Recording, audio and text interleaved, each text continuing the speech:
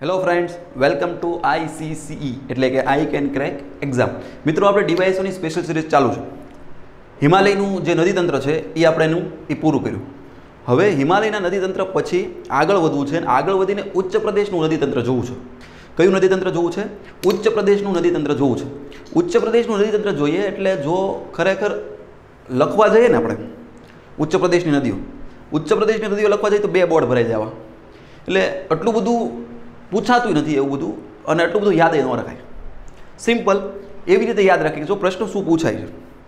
GPSC લેવલે પ્રશ્ન આ રીતે પૂછાય કે નીચેનામાંથી કઈ નદી પૂર્વ તરફ વહે છે? નીચેનામાંથી કઈ કઈ નદીઓ પશ્ચિમ તરફ વહે છે? નીચેનામાંથી કઈ નદી પૂર્વ તરફ વહેતી નથી? નીચેનામાંથી કઈ નદી પશ્ચિમ તરફ વહેતી નથી? આ ટાઈપના પ્રશ્નો પૂછાય છે. અને આ ટાઈપના પ્રશ્નો પૂછાય, આ ટાઈપના પ્રશ્નો પૂછાય એટલે સમજી લો કે તમારા લોકોએ પૂર્વથી પશ્ચિમ ને પશ્ચિમથી પૂર્વ તરફ વહેતી નદી યાદ રાખવી પડે. બરાબર? એટલે આ ઉચ્ચ પ્રદેશમાંથી નીકળતી નદીઓને આપણે બે ભાગ પાડી દઈએ. ઉચ્ચ પ્રદેશમાંથી નીકળતી નદીઓના કેટલા ભાગ પાડી દઈએ? બે ભાગ પાડી દઈએ. કયા કયા બે ભાગ છે? જુઓ તો. ઉચ્ચ પ્રદેશમાંથી નીકળતી નદીઓ. તો લખતાઓ તમે બુક બનાવતા હો તો સાથે સાથે લખતા જજો. ઉચ્ચ પ્રદેશમાંથી નીકળતી નદીઓ પહેલાં સાથે લખી નાખજો, લખો એની સાથે સાથે. અને એની પછી આપણે યાદ રાખીએ. બરાબર? આવું કંઈક કરીએ. જો ઉચ્ચ પ્રદેશમાંથી નીકળતી નદીઓ છે ને બે ભાગ પાડી દઈએ. કયા કયા બે ભાગ પાડશું? તો કે બે ભાગ આ રીતે પાડશું. એક જ મિનિટ. આના ભાગ આ રીતે કંઈક પાડશું.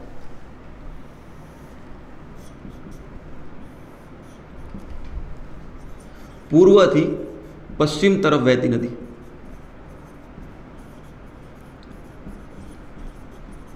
અને બીજું, પશ્ચિમથી પૂર્વ તરફ વહેતી નદી.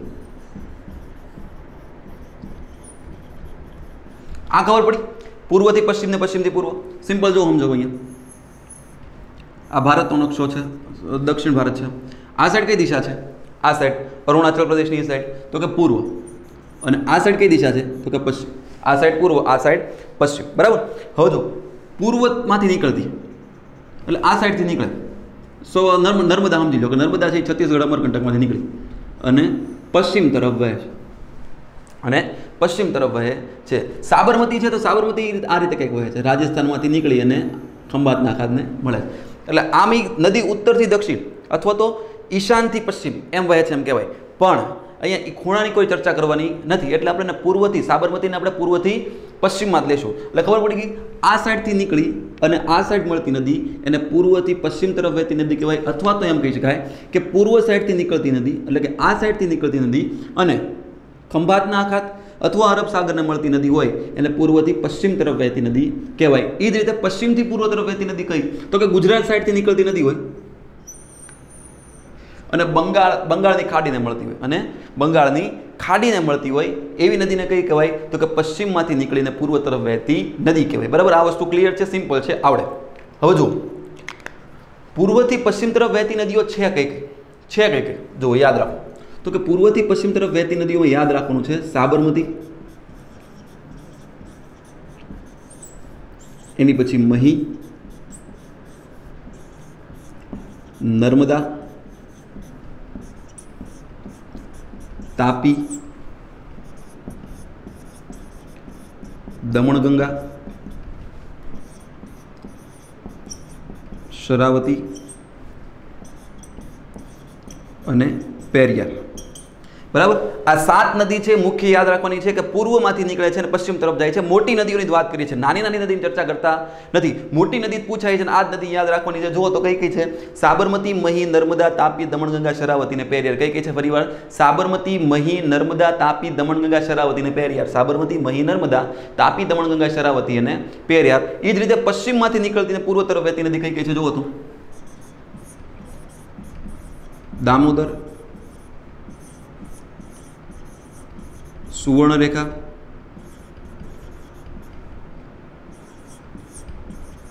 બ્રાહ્મણી?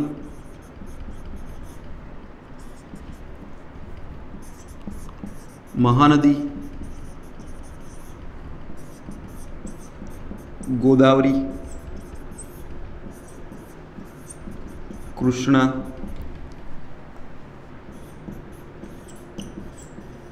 પેન્નાર? કાવેરી અને તામ્રપર્ણી અને તામ્રપણી. જુઓ તો, કેટલી નદી થઈ? સાબરમતી, મહી, નર્મદા, તાપી, દમણગંગા, શરાવતી પેરિયાર આ સાઈડની સાત નદી.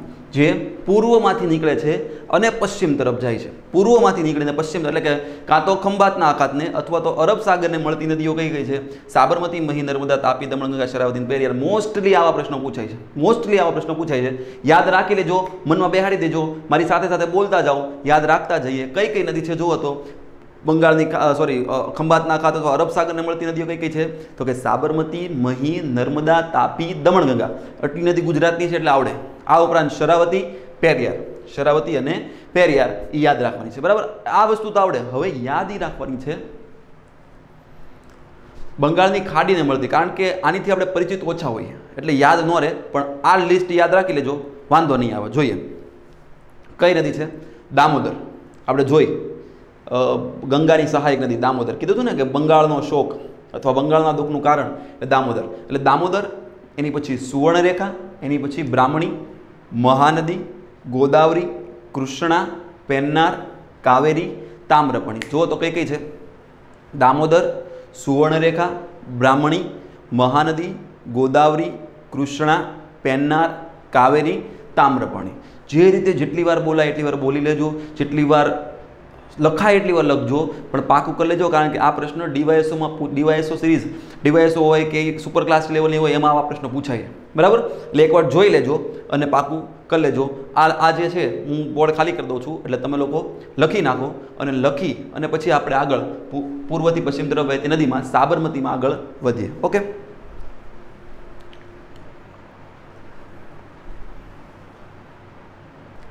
સાબરમતી. સાબરમતી નદી, ખબર છે આપણને કે સાબરમતી નદી ગુજરાતની, સાબરમતી નદી ગુજરાતની સૌથી લાંબી નદી છે. ગુજરાતની સૌથી લાંબી નદી છે એટલે જ સાબરમતીને આપણે ઉપમા આપવી હોય તો આપી શકાય ગુજરાતની નાઇલ તરીકે. કારણ કે વિશ્વની સૌથી લાંબી નદી કઈ છે તો કે નાઇલ. તો ગુજરાતની સૌથી લાંબી નદી કઈ થાય? ગુજરાતની નાઇલ કઈ થાય? તો કે સાબરમતી. કઈ નદી થશે? સાબરમતી. આ સાબરમતી નદી છે એકદમ ડિટેલમાં સમજતા જઈએ. સાથે સાથે સાંસ્કૃતિક વારસો પણ સમજતા જઈએ. જોતા જઈએ ક્લિયર કરતા જઈએ કે સાબરમતી નદી છે. સાબરમતી નદી નીકળે છે ક્યાંથી? તો કે સાબરમતી નદી છે રાજસ્થાનમાંથી નીકળે. ક્યાંથી નીકળે છે? રાજસ્થાન. સાબરમતી નદી છે, રાજસ્થાનમાંથી નીકળે. પણ રાજસ્થાનમાં મોટું એડ્રેસ યાદ રાખવું હોય તો શું યાદ રાખી શકાય? જો તો કે સાબરમતી નદી છે, રાજસ્થાનમાં એક પર્વતમાળા આવેલી છે. આપણે ભણી ચૂક્યા છીએ આ પર્વતમાળાને. અરવલ્લી. કઈ પર્વતમાળા છે? અરવલ્લી. અરવલ્લી પર્વતમાળામાં એક ટેકરી આવેલી છે. એ ટેકરીનું નામ છે ઉદયપુરની ટેકરી. કઈ ટેકરી છે? ઉદયપુર. રાજસ્થાનમાં આવેલી અરવલ્લી પર્વતમાળાની ઉદયપુરની ટેકરી એની તળેટીમાં એક ગામ આવ્યું છે. ગામનું નામ છે વેકરિયા. કયું ગામ છે? વેકરિયા. આ વેકરિયા ગામ છે, વેકરિયા ગામમાં સોરી રિયા નહીં વેકરિયા નહીં વેકડિયા ડ વેકડિયા ગામ છે ને વેકડિયા ગામમાં એક સરોવર આવેલું છે. અને સરોવર છે, સરોવરનું નામ છે ઢેબર સરોવર. કયું સરોવર છે? ઢેબર સરોવર. આ જ ઢેબર સરોવરમાંથી નદી નીકળે છે. એ નદીનું નામ છે સાબર. શું નામ છે? સાબર. સાબર તરીકે આ નદી નીકળે છે. ક્લિયર થાય છે? રાજસ્થાનમાં આવેલી અરવલ્લી પર્વતમાળાની ઉદયપુરની ટેકરીની તળેટીમાં વેકડિયા નામનું ગામ છે વેકડિયા ગામમાં એક સરોવર આવેલું છે. એ સરોવરનું નામ છે ઢેબર સરોવર. આ જ ઢેબર સરોવરમાંથી નદી નીકળે છે. એ નદીનું નામ છે સાબર. જો સાબરમતી તરીકે નથી નીકળતી, પણ કયા નામે નીકળે છે? સાબર તરીકે નીકળે. કયા નામે નીકળે છે? સાબર તરીકે નીકળે છે. આ સાબર નદી છે, ધીમે ધીમે આગળ વધે છે. અને આગળ વધતા વધતા આ નદી ગુજરાતમાં, આ નદી ગુજરાતમાં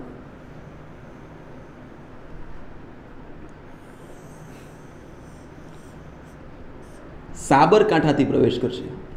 ક્યાંથી પ્રવેશ કરશે? સાબરકાંઠાથી. ગુજરાતમાં ક્યાંથી પ્રવેશ કરશે? તો કે ગુજરાતમાં સાબરકાંઠાથી પ્રવેશ કરશે. ગુજરાતમાં આ નદી સાબરકાંઠાથી પ્રવેશ કરે છે અને સાબરકાંઠાથી પ્રવેશ કરી આ નદી ગુજરાતમાં કુલ સાત જિલ્લામાં વહે છે. કેટલા જિલ્લામાં વહે છે? સાત જિલ્લામાં વહે છે અને સાત જિલ્લામાં વહી આ નદીનો અંત.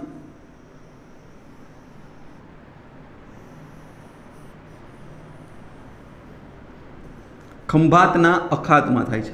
કઈ જગ્યાએ થાય છે? ખંભાતના અખાતમાં થાય છે. આમાં યાદ રાખો કે સાબરમતી નદી છે. સાબરમતી નદીનો અંત ખંભાતના અખાતમાં થાય છે. ઓકે. પણ કઈ જગ્યાએ થાય છે? તો કે આણંદ જિલ્લામાં. કઈ જગ્યાએ? આણંદ જિલ્લામાં ખંભાતના અખાતમાં થાય છે. ક્લિયર થાય છે વસ્તુ, ખબર પડે છે? જો સમજો તો કે સાબરમતી નદી છે, ક્યાંથી નીકળે છે? તો કે સાબરમતી નદી છે, રાજસ્થાનમાં આવેલી અરવલ્લી પર્વતમાળાની ઉદયપુરની ટેકરીની તળેટીમાં. વેકડિયા નામના ગામમાં એક સરોવર આવેલું છે, સરોવરનું નામ છે ઢેબર. ઢેબરમાં તે નદી કયા નામે નીકળે? તો કે સાબર. આ સાબર તરીકે નીકળતી નદી ગુજરાતમાં કયા જિલ્લાથી પ્રવેશ કરે છે? તો કે સાબરકાંઠા. સાબરકાંઠાથી પ્રવેશ કરે ગુજરાતમાં કુલ કેટલા જિલ્લામાં વહે છે? તો કે સાત. કેટલા જિલ્લામાં વહે છે? સાત જિલ્લામાં કયા કયા સાત જિલ્લા? જુઓ તો. તો કે સાબરકાંઠા.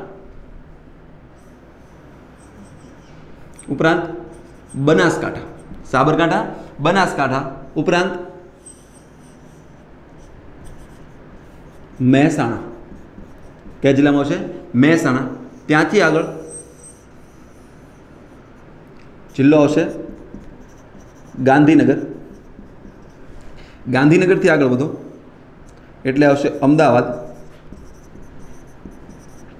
અમદાવાદની બાજુમાં ખેડા અને ખેડાની નીચે આણંદ. ખેડા નીચે કયો જિલ્લો છે? આણંદ. જુઓ તો, કયા કયા જિલ્લામાં વહે છે? તો કે સાત. કેટલા જિલ્લામાં વહે છે? સાત જિલ્લામાં વહે છે. કેટલા જિલ્લામાં વહે છે? સાત.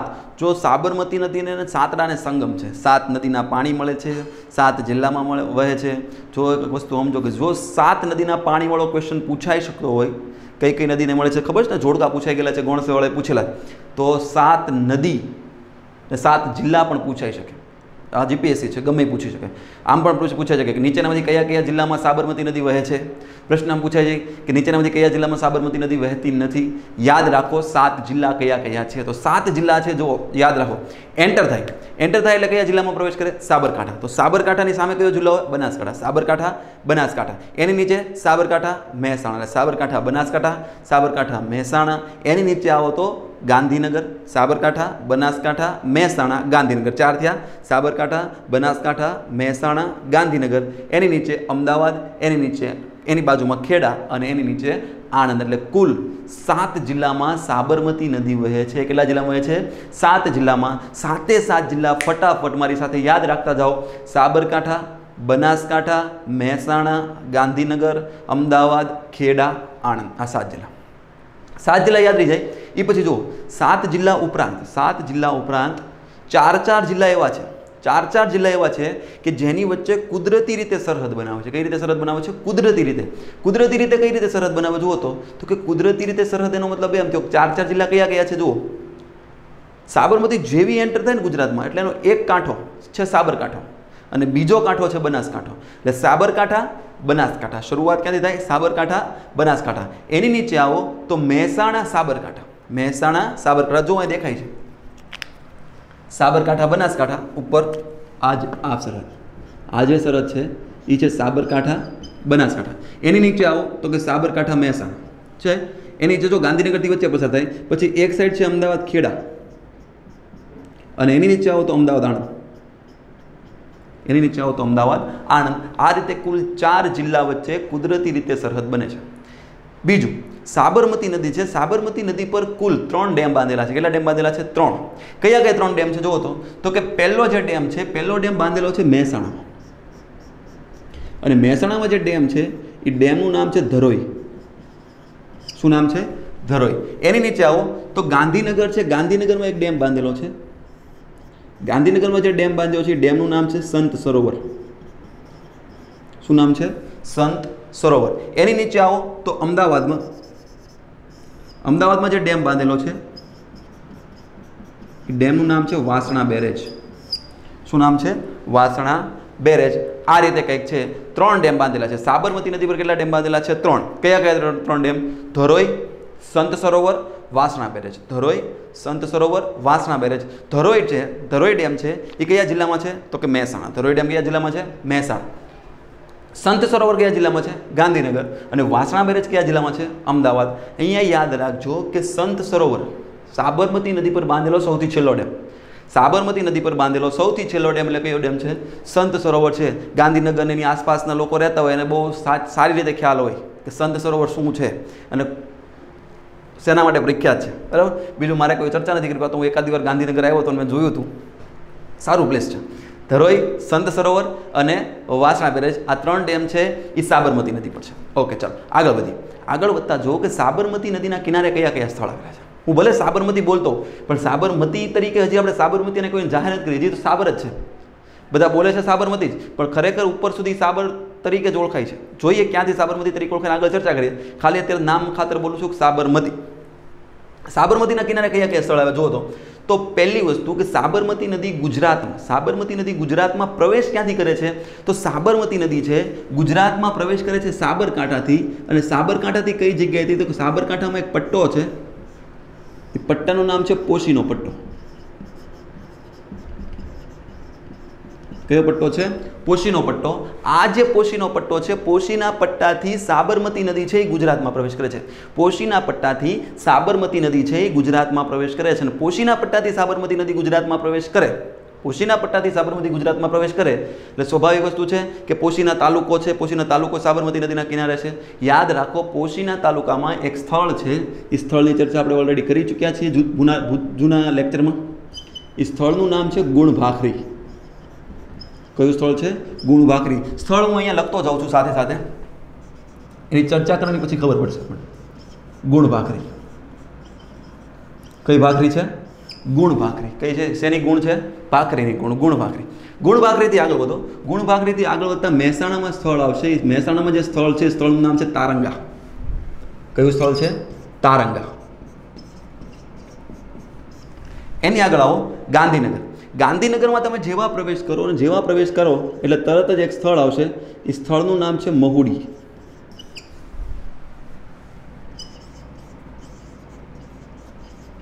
મહુડી. મહુડીથી આગળ વધો. ઇન્દ્રોડા પાર્ક.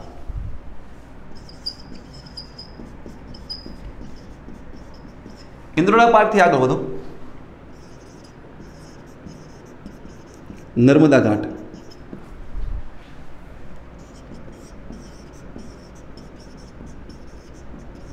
નર્મદા ઘાટથી આગળ વધો. સિટી આવશે. ગિફ્ટ સિટી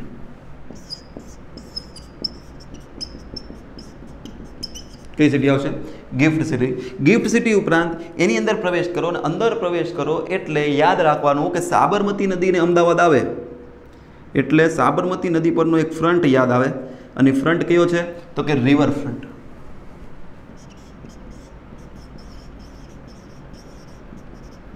કયો ફ્રન્ટ છે? રિવર ફ્રન્ટ રિવર ફ્રન્ટ ઉપરાંત અહીંયા એક આશ્રમ આવશે. સાબરમતી આશ્રમ.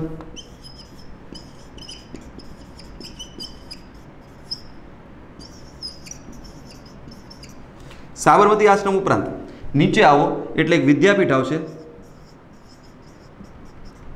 ગુજરાત વિદ્યાપીઠ. કઈ વિદ્યાપીઠ છે?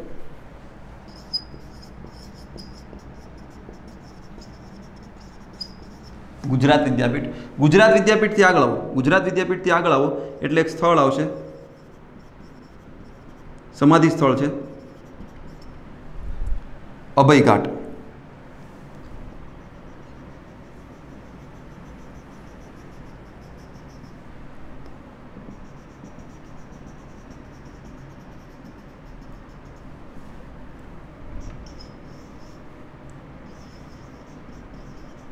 અભયઘાટ. અભયઘાટથી આગળ આવો, એટલે વાસણા બેરેજ અને વાસણા બેરેજથી આગળ આવો, એટલે ફરીવાર એક સ્થળ આવશે, એ સ્થળનું નામ છે વૌઠા. કયું સ્થળ છે? વૌઠા.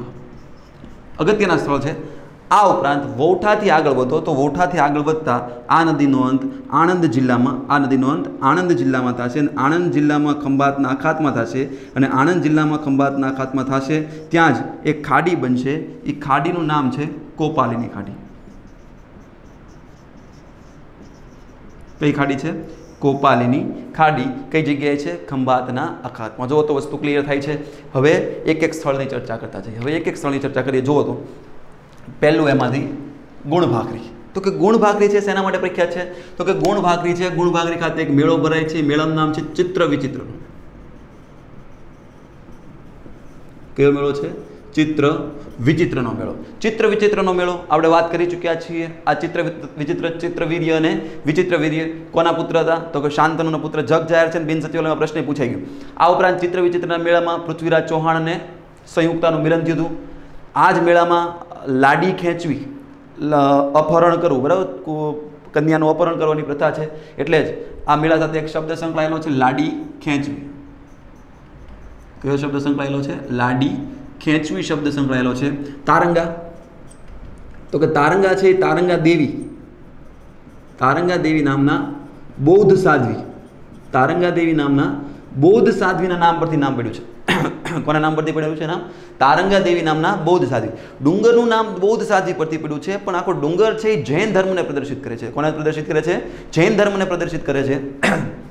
અને તારંગા ખાતે જે દેરાસર આવું કઈ રીતે ખબર પડે? જૈન ધર્મ તો કે મુખ્યત્વે જૈનના મંદિર છે. અને જ્યાં પ્રખ્યાત મંદિર છે અજીતનાથનું જૈન દેરાસર. આ અજીતનાથનું જૈન દેરાસર છે બંધાયું કોણે છે? તો કે અજીતનાથનું જૈન દેરાસર છે એ બંધાયું છે કુમારપાળે કોણે બંધાયું છે? કુમારપાળ. અને કુમારપાળ એટલે કોણ? તો કે કુમારપાળ એટલે ગુજરાતનો અશોક. એમ કહેવાય છે ને? આનું ઉપનામ આપેલું છે ને? ગુજરાતનો અશોક એટલે કુમારપાળ. આ ઉપરાંત ત્યાંથી આગળ તો મહુડી. મહુડી શેના માટે પ્રખ્યાત છે? યાદ રાખો, મહુડી છે, તમે કહેશો મહુડી સુખડી માટે. ખાલી સુખડી નથી યાદ રાખવાનું ભાઈ. ખાલી સુખડી યાદ રાખવાનું નથી. યાદ રાખો કે મહુડી છે, મહુડી ઘંટાકર્ણ મહાવીર. ઘંટાકર્ણ મહાવીરના દેરાસર માટે પ્રખ્યાત છે. મહુડી બીજા શેના માટે પ્રખ્યાત છે તો કે ઘંટાકર્ણ મહાવીરના દેરાસર માટે પ્રખ્યાત છે. ઘંટાકર્ણ મહાવીરનું દેરાસર કઈ જગ્યાએ આવેલું છે તો કે ગાંધીનગરના મહુડી ખાતે આવેલું છે. મહુડી ક્યાં આવેલું છે? ગાંધીનગર. ઘંટાકર્ણ મહાવીરનું દેરાસર, ઓકે, યાદ રાખી લીધું. ઘંટાકર્ણ મહાવીરનું દેરાસર એટલે શું? ઘંટાકર્ણ નામ કેમ પડ્યું? યાદ રાખો, ગુજરાતનો સૌથી મોટો ઘંટ મહુડી ખાતે છે. એટલે જે સ્થળનું નામ પડી ગયું છે ઘંટાકર્ણ મહાવીર. અને આ ઘંટાકર્ણ મહાવીર છે, ઘંટાકર્ણ મહાવીર છે, એ દેરાસર બંધાયું છે કોણે? તો યાદ રાખજો બુદ્ધિસાગર મહારાજ.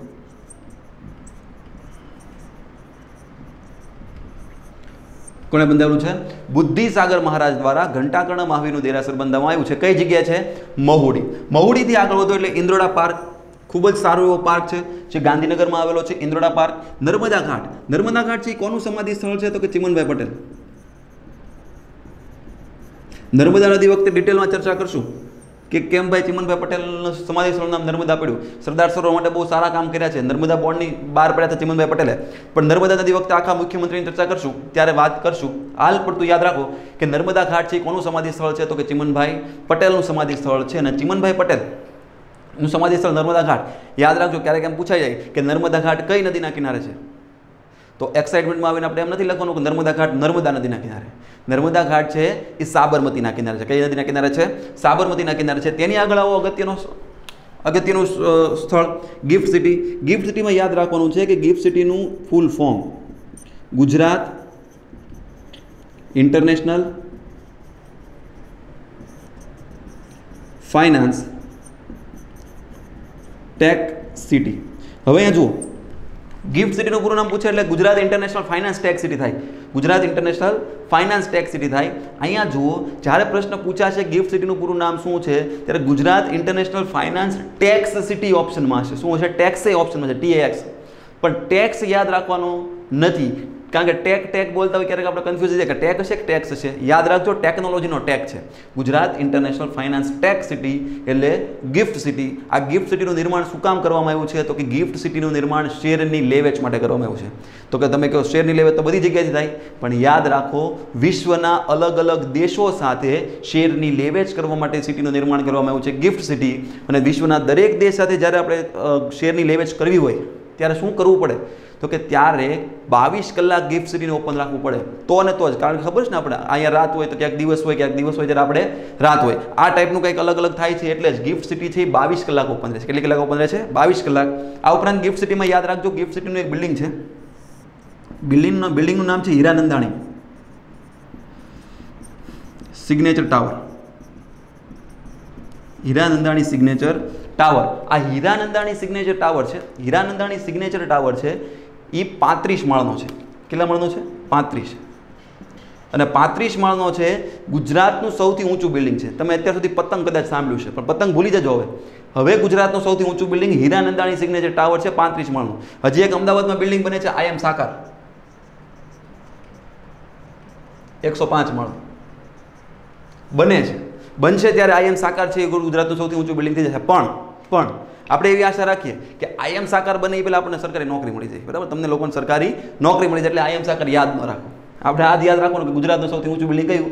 હીરાનંદાણી સિગ્નેચર ટાવર ક્લિયર વસ્તુ થઈ ગઈ. આગળ વધો. રિવરફ્રન્ટ અમદાવાદનો રિવરફ્રન્ટ અમદાવાદના રિવરફ્રન્ટની લંબાઈ પૂછાઈ ગયેલી છે કે અમદાવાદમાં રિવરફ્રન્ટની લંબાઈ કેટલી છે? તો કે અમદાવાદનો જે રિવરફ્રન્ટ છે એની લંબાઈ છે બાર પોઈન્ટ પાંચ કિલોમીટર. કેટલા કિલોમીટર છે? બાર પોઈન્ટ પાંચ. એમાંથી દસ પોઈન્ટ પાંચ કિલોમીટર પબ્લિક માટે છે. જ્યારે બે કિલોમીટર એ સરકારે પોતાના કાર્યક્રમો માટે રાખેલું છે, બરાબર? ડીપમાં તો આટલું બધું ન પૂછાય, પણ આપણે ખાલી લંબાઈ યાદ રાખજો કે રિવરફ્રન્ટની લંબાઈ છે બાર પોઈન્ટ પાંચ કિલોમીટર અને એમાંથી રિવરફ્રન્ટના અમુક અમુક જે ભાગ છે, એનું નામ પ્રમુખ સ્વામી માર્ગ કર્યું છે. શું નામ કરેલું છે? પ્રમુખ સ્વામી માર્ગ. ત્યાંથી આગળ વધો એટલે સાબરમતી આશ્રમ. સાબરમતી આશ્રમ તો આપણે ખબર જ છે. આ સાબરમતી આશ્રમમાં હૃદયકુંજ છે, ગાંધીજીનો ઓરડો છે. યાદ એ રાખવાનું છે કે સાબરમતી આશ્રમ છે, સાબરમતી આશ્રમની પાછળ એક નદી છે. સાબરમતી આશ્રમની પાછળ એક નદી છે. એનું નામ છે ચંદ્રભાગા. કઈ નદી છે? ચંદ્રભાગા. અને જે ચંદ્રભાગા નદી છે, અને જે ચંદ્રભાગા નદી છે, આ ચંદ્રભાગા નદી પર એક પુલ બાંધેલો છે. એ પુલનું નામ છે દાંડી પુલ. શું નામ છે? દાંડી પુલ આ જે દાંડી પુલ છે, ચંદ્રભાગા નદી પર પુલ બાંધેલો છે દાંડી પુલ પ્રશ્ન પૂછાય ને ત્યારે કે દાંડી પુલ કઈ નદી પર છે? ત્યારે સો ટકા આંખી બંધ કરીને પબ્લિક શું લખી નાખે છે? સાબરમતી નદી લખી નાખે. યાદ રાખજો દાંડી પુલ છે, સાબરમતી નદી પર નહીં, પણ ચંદ્રભાગા નદી પર છે. કઈ નદી પર છે? ચંદ્રભાગા. આની પહેલાં આપણે ચંદ્રભાગા નદી જોઈ. કઈ જગ્યાએ? કઈ નદીનું નામ ચંદ્રભાગા હતું?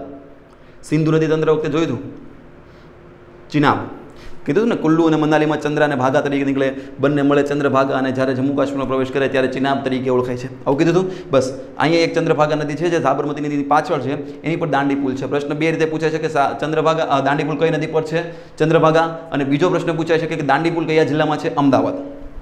ત્યાંથી આગળ વધો ગુજરાત વિદ્યાપીઠ. ગુજરાત વિદ્યાપીઠની ચર્ચા આપણે કરી ચૂક્યા છીએ. આ ગુજરાત વિદ્યાપીઠ ગુજરાત વિદ્યાપીઠ છે એમાં પહેલાં તો જોડણી યાદ રાખવાની છે, ગ દીર્ઘ આવશે ગ છે એ દીર્ઘ આવશે જો કે ડીવાયસોમાં જોડણી નથી એટલે વાંધો નહીં. ગુજરાત વિદ્યાપીઠમાં ગ દીર્ઘ આવશે આ ગુજરાત વિદ્યાપીઠ છે એ બનાવવામાં કઈ કોના બંગલામાં બનાવવામાં આવી હતી તો કે ડાયાભાઈ. કોના બંગલામાં બનાવવામાં આવી હતી? ડાયાભાઈના બંગલામાં બનાવવામાં આવી હતી. અભયઘાટ છે, અભયઘાટ કોનું સમાધિ સ્થળ છે? તો કે અભયઘાટ છે મોરારજી દેસાઈ. કોનું સમાધિ સ્થળ છે? મોરારજી દેસાઈનું સમાધિ સ્થળ છે. આ મોરારજી દેસાઈ છે પ્રથમ ગુજરાતી વડાપ્રધાન. અને પ્રથમ ગુજરાતી વડાપ્રધાન ઉપરાંત સૌથી વધુ વખત બજેટ રજૂ કરનાર કોણ છે? મોરારજી દેસાઈ. આ ઉપરાંત આ ઉપરાંત મોરારજી દેસાઈ છે મોરારજી દેસાઈ. એના સમયમાં આરબીઆઈના ગવર્નર કોણ હતા? તો મોરારજી દેસાઈના સમયમાં આરબીઆઈના ગવર્નર હતા આઈજી પટેલ, ઇન્દ્રજીતસિંહ પટેલ. ઇન્દ્રજીતસિંહ પટેલ, મોરારજી દેસાઈના સમય આ ઉપરાંત નરેન્દ્રભાઈ મોદી, બીજા ગુજરાતી વડાપ્રધાન. અને એના સમયમાં આરબીઆઈના ગવર્નર હતા ઉર્જિત પટેલ. શું નામ હતું? ઉર્જિત પટેલ. હવે જુઓ, ગુજરાતી જોડકી, મોરારજી દેસાઈ જી પટેલ, નરેન્દ્રભાઈ મોદી, ઉર્જિત પટેલ. આ બંને ગુજરાતી જોડકી છે અને બંનેના સમયમાં નોટબંધી થઈ હતી. બંનેના સમયમાં નોટબંધી થઈ હતી. નરેન્દ્રભાઈ મોદીના સમયમાં નોટબંધી થઈ હતી અને મોરારજી દેસાઈના સમયમાં નોટબંધી થઈ હતી. એટલે યાદ રાખી લેવાનું ભાઈ, કે જ્યારે જ્યારે ગુજરાતી થોડકું ભેગું થાય છે, ત્યારે ત્યારે નોટબંધી થાય છે. એટલે હવે લોકોએ નક્કી કર્યું કે ગુજરાતી થોડકું ભેગું કરવું નહીં. ત્યાંથી આગળ તો વોઠા. વોઠા જગ જાહેર છે કે વોઠા છે? તેના માટે પ્રખ્યાત છે? તો કે વોઠાનો મેળો. કેટલી નદીના કેટલી નદીના પાણી મળે છે? તો કે સાત નદીના પાણી મળે છે. રિયાલિટીમાં કેટલી નદી મળે છે? તો કે બે. કઈ કઈ? સાબરમતી અને વાત્રક. કઈ કઈ નદી મળે છે? સાબરમતી અને વાત્રક. હમણાં પાછા જોઈએ નદીઓ બીજી સાતે સાત નદી વિશે ચર્ચા કરવી છે. આગળ જોઈએ. સાબરમતી અને વાત્રક, આ બંને નદી, આ બંને નદી છે એ ક્યાં મળે છે? તો કે વૌઠા ખાતે મળે છે. વૌઠાનો મેળો ક્યારે ભરાય છે? તો કે કાર્તિકી પૂર્ણિમા. વૌઠાના મેળામાં શેની લેવેચ થાય છે? તો કે ગધેડાની. ગધેડાની લેવેચ થતી હોવાથી તેને કયો મેળો કહેવાય છે? ગદર્ભનો મેળો.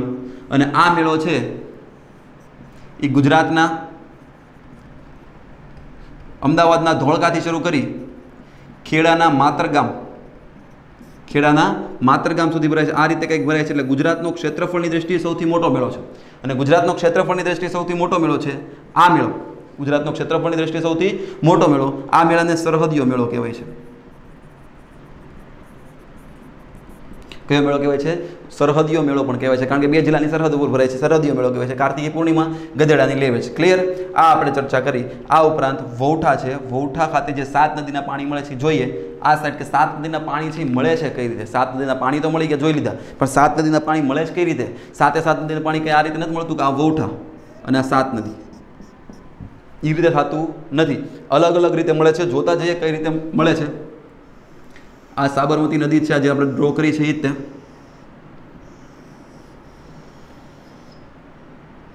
અહીંયા આવેલું છે વૌઠા. હવે જો સાબરમતીને કઈ રીતે નદી મળે છે? સાત નદી કઈ રીતે મળે છે?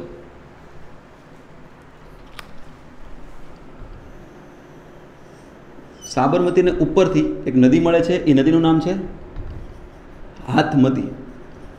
કઈ નદી મળે છે? હાથમતી વૌઠા ખાતે મુખ્ય કઈ નદી મળે છે? તો કે સાબરમતી અને વાત્રક. સાબરમતી અને વાત્રક. આ ઉપરાંત આ ઉપરાંત. વાત્રકની સહાયક નદી કઈ કઈ છે? તો કે મેશવો, માઝમ અને શેઢી. મેશવો, માઝમ અને શેઢી. આ ઉપરાંત એક નદી મળે છે. એ નદીનું નામ છે ખારી. કઈ નદી છે? ખારી. આ રીતે સાત નદી મળે છે. જો સાબરમતી, હાથમતી, મેશવો, માઝમ, શેઢી, વાત્રક અને ખારી. તમે કંઈક સૂત્ર યાદ રાખ્યું છે? હા? હા સામે માવા ખાશે. હા સામે માવા ખાશે. આ સાતે સાત નદી. હવે સાતે સાત નદીની ચર્ચા કરતા જઈએ. હાથમતી નદી છે. હાથમતી નદીના કિનારે કયું સ્થળ આવેલું છે? તો કે હાથમતી નદીના કિનારે સાબરકાંઠાનું મુખ્ય મથક. હાથમતી નદીના કિનારે સાબરકાંઠાનું મુખ્ય મથક હિંમતનગર આવેલું છે. કયું સ્થળ છે?